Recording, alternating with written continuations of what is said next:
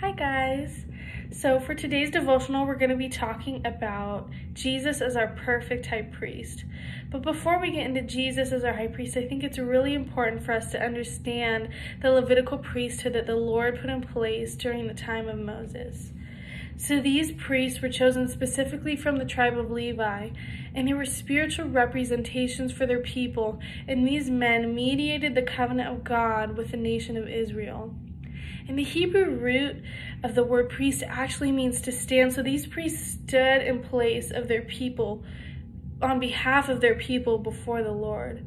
One of their main jobs and tasks as priests was to tend to the tabernacle or the house of the Lord.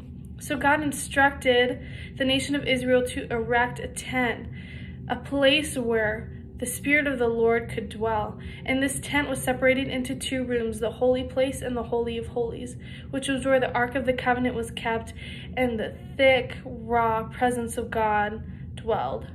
Now, the presence of God was so heavy that the holy place and the holy of holies had to be separated by a thick veil from floor to ceiling. And the only person that could go into the holy of holies was a high priest, and he could only go one day a year on Yom Kippur or the Day of Atonement.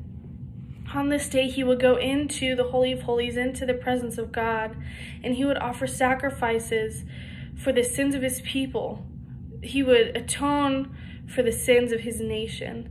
And this Levitical priesthood was a reminder to the nation of Israel of the holy requirements of God. Now that we understand a little bit about the Levitical priesthood, now we can really get into Jesus as our perfect high priest. So Jesus was not only the perfect sacrificial lamb, but he was also the perfect high priest. So Levitical priests were appointed by God, but they were still sinful men. They still had their sinful flesh. So they would have to day in and day out continually offer sacrifices, not only to atone for the sins of their nation, but also to atone for their own sins of their own flesh of the temptation that they gave into on a daily basis. But Jesus was completely sinless. From birth to death to resurrection, there was not sin in him. So when he gave his life for us, his blood covered the debt of sin once and for all.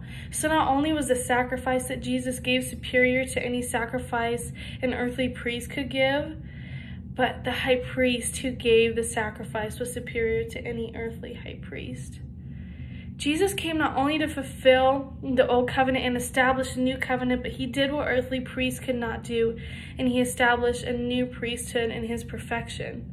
So when Jesus sacrificed himself, he brought a new covenant, a better covenant. And just as the Levitical priest mediated the old covenant with the people of Israel, Jesus mediates the new covenant with us. And this makes his ministry better, this mediation better than what the Levitical priest could do. And the beautiful thing is that Jesus is our mediator. And the Greek root of that word mediator actually means the one who stands in the middle of two people and brings them together. So he's bringing us to the Father as he mediates this new covenant. And even as the high priests came and go, as they died and a new one was risen up, Jesus is our eternal. He's our eternal high priest. Jesus literally passed through the heaven and he's now in the throne room interceding on our behalf. He's not defending us against condemnation because his blood took care of that, but he is constantly and forever representing us before the Father.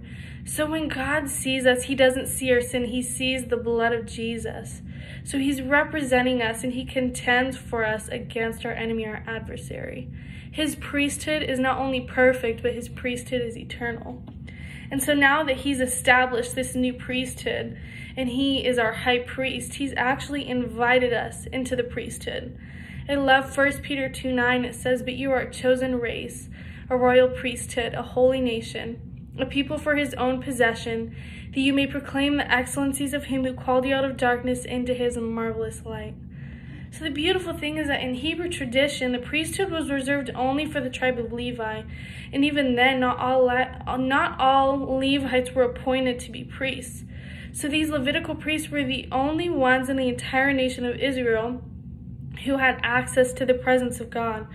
But when Jesus died on the cross and offered the most perfect sacrifice as our most perfect high priest, the veil that separated the holy place and the Holy of Holies ripped in two from top to bottom, which released the presence of God. So, by releasing the presence of God and now inviting us into that priesthood, we not only have the Spirit of the Lord dwelling inside of us, but we now have full and complete access to the presence of God. This sacrifice and perfected priesthood established relationship with the Father. So now that we know that Jesus provided the perfect sacrifice as our perfect priest, established a new priesthood, and is inviting us into that, we now know that we can boldly and confidently come before the throne of grace.